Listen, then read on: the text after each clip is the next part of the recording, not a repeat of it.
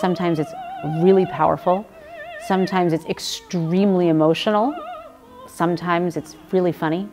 The only thing that I can think of that can convey the full range of human emotions and all of that theatricality and all of that power is opera music.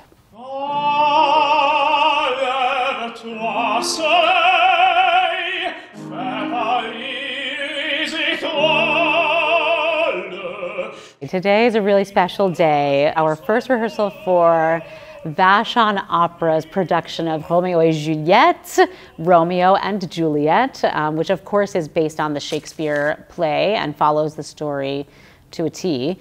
It has romance, it has violence, and we are going to have, as all opera companies do, projected super titles above the stage.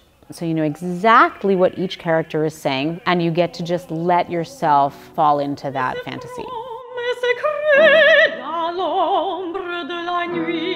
The magic really comes to life when those costumes get on. And really, we have our costume designer to thank for taking us to that next level.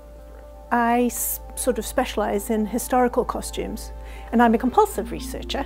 Lots and lots of notes, swatches, and little sketches and pictures where I can. So I design them, choose the fabrics and the notions and everything. And then the wonderful ladies I work with do the stitching because I'm absolutely terrible at machine stitching.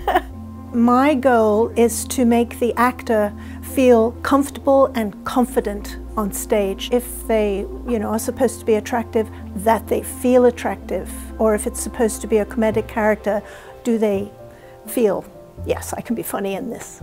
This hat, mm -hmm. in Italian, it's a mazzocchio.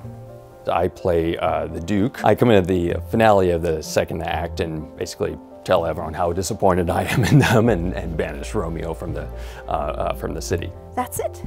Oh, so have a little wander and just let's check that uh, length. Oh yes, oh that's nice. You don't need to know anything about opera, you can just show up enjoy the show, enjoy the spectacle that's going on stage.